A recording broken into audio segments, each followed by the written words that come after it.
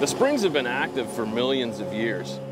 As a source of fresh water, this area would have been a prime location for human habitation since our earliest ancestors here in North America.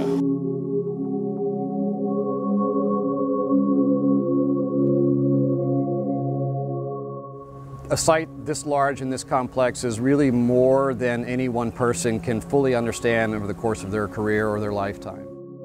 What we have here is, is really a unique opportunity to document the fact that folks have been attracted to this, this lovely springside setting uh, since, the, since before the end of the last ice age. Spring Lake is a time capsule, and these springs were dammed 150 years ago essentially creating an underwater archaeological preserve and protecting what once were terrestrial deposits in an aquatic underwater environment. With funding from the National Geographic Society and the Waitt Institute, and in a collaboration between the Meadows Center for Water and the Environment and the Center for Archaeological Studies here on campus at Texas State University, we've initiated the first ever underwater geoarchaeology survey of Spring Lake. The first phase of the project is a sub-bottom profile survey. And basically what that is, is there's an electronic apparatus that's connected to a bunch of computer monitors on our barge, and we just drive lanes back and forth throughout the lake. And we basically, what we like to call mow the lawn. Uh, and what that does is it, it, pings, it uses sound, sort of like a fish finder, and it catches the echo back um, off, of the, off of the lake bed, but it also reads into the sediments. So that gives us an idea of the depth of the sediment, how thick they are, levels of compaction. You can actually see some, some stratigraphy or different layers of sediment in the electronic readout.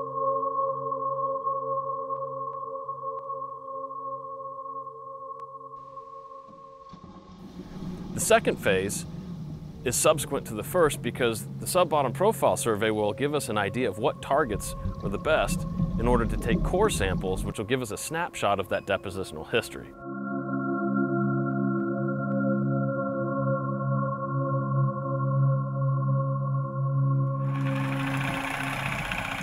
We'll take the core samples back to the laboratory where they'll be cut in half and then we will do the analysis of the sediments. This clay is kind of showing soil development and then it would make sense to have charcoal in that, possibly campfires.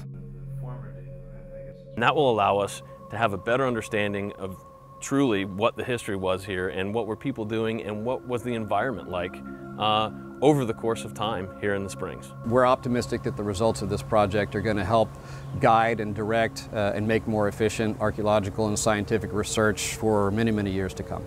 To get this kind of seed money to help do this um, uh, phase one survey or assessment uh, has been really important for us. Working in this environment is really cool, uh, not to mention the fact that this is right on campus.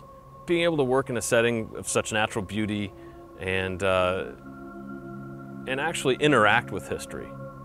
We're barely scratching the surface on, on what this area has to tell us about our past.